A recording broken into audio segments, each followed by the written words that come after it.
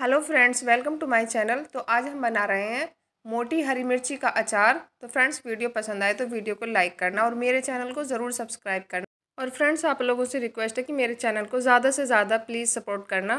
तो यहाँ पर मोटी हरी मिर्च हमने ले ली है। अच्छे से इसको धो के कपड़े से पोँछ लिया है और साफ़ करके रख लिया है। तो अभी इसके साथ में हमने मसाले ले लिए हैं। तो एक चम्मच धनिया, एक चम्मच सौंफ, एक चम्मच ज़ीरा और एक चम्मच हमने मेथी दाना लिया है और दो चम्मच हमने पीली सरसों या काली सरसों, आप कैसी भी सरसों ले सकते हो।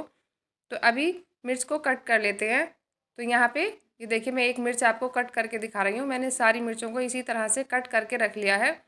मिर्चों को काट लेते हैं हम तो उससे अचार हमारा बहुत ही टेस्टी बनेगा क्योंकि मसाले अंदर तक जाएँगे। तो ये देखिए फ्रेंड्स, मैं अभी इन मसालों को एक पैन में डालकर थोड़ा सा एक मिनट के लिए इसको रोस्ट कर लेते हैं, भून लेते हैं, जिससे मसालों में जो भी नमी होगी थोड़ा सा मसालों को सेकने से नमी सारी ख़त्म हो जाएगी और अचार हमारा लंबे टाइम तक चलेगा। तो इस, ऐसा करने से अचार हमारा बिल्कुल भी ख़राब नहीं होगा और आप इसको एक महीना, दो महीने फ्रिज में रख के आराम से इस अचार को खा सकते हो। तो यहाँ पे हमने एक पैन में तेल डाल दिया है, उस तेल को हम गरम कर लेंगे और गरम करके ठंडा कर लेंगे। तो ये देखिए, यहाँ पे मसालों को हम ग्राइंडर जार में डाल के और इसको दर दरा सा पीस लेते हैं। तो ये देखिए फ्रेंड्स, मैंने मसालों को पीस लिया यहाँ पे। ये देखिए, इस तरह का मसाला हमने बना के तैयार कर लिया है।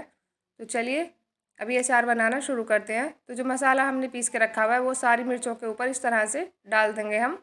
फ्रेंड्स, कभी सब्ज़ियाँ खा खा के हम बोर हो जाते हैं और कुछ तीखा चटपटा खाने का मन करता है तो ये अचार बना के रखिए। बहुत ही ज़्यादा टेस्ट ये चार लगता है और दो की जगह आप चार रोटियाँ खाओगे इससे। तो यहाँ पे हमने एक चम्मच नमक डाल दिया है और एक चम्मच यहाँ पे हमने लाल मिर्च का पाउडर डाल दिया है। और साथ में अचार को लंबे टाइम तक चलाने के लिए हम डालेंगे इसमें सफ़ेद सिरका वाइट विनेगर। तो इससे अचार हमारा बिल्कुल भी ख़राब नहीं होता और जो तेल हमने गर्म करके ठंडा कर लिया है, वो तेल भी यहाँ पर हम डाल देंगे। तो फ्रेंड्स, अभी इन सारे मसालों को मिक्स कर लेते हैं। अच्छे से अचार को मसालों के साथ में मिक्स कर लेना है। तेल, मसाले सब कुछ अच्छे से हमें मिक्स कर लेने हैं। तो फ्रेंड्स अभी इसमें हम डालेंगे कलर लाने के लिए एक चम्मच भर के कश्मीरी लाल मिर्च। और साथ में यहाँ पे मैं डाल रही हूँ जो हमारा आम का अचार था, उसका तेल और मसाला थोड़ा सा तो इससे अचार बहुत ही ज़्यादा टेस्ट बढ़ जाएगा अचार का। तो ये अचार हम इंस्टेंट अचार बना रहे हैं कि जो हम डालते इसको, हाथों हाथ हम इस अचार को खा सकते हैं।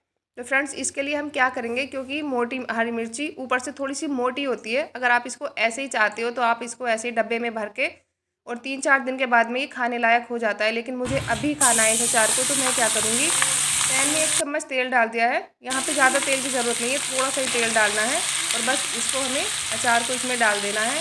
और दो मिनट के लिए हम एक साइड से इसको इसी तरह से पड़ा रहने देंगे। और ऊपर से ढक देंगे। तो ऐसा करने से क्या होगा कि अचार हमारा ऊपर से थोड़ा सा सॉफ्ट हो जाएगा और ये बिल्कुल एकदम बनाते ही आप इसको खा सकते हो, इस अचार को। इतना टेस्टी अचार बन के तैयार होगा।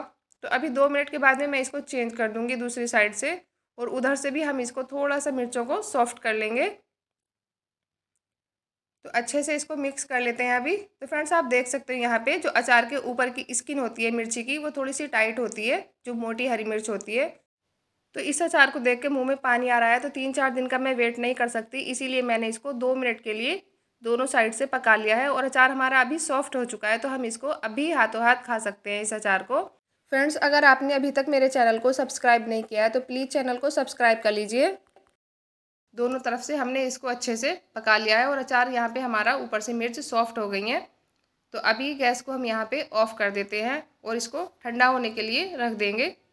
ठंडा करने के बाद में हम इसको एक एयरटाइट कंटेनर में भर के रख देंगे।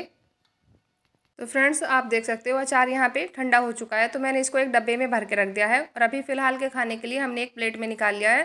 तो फ्रेंड्स अगर आपको रेसिपी अच्छी लगी है तो प्लीज़ रेसिपी को लाइक कीजिए और मेरे चैनल को सब्सक्राइब कर लीजिए और कमेंट करके मुझे बताइए कि आपको ये रेसिपी कैसी लगी। Thanks for watching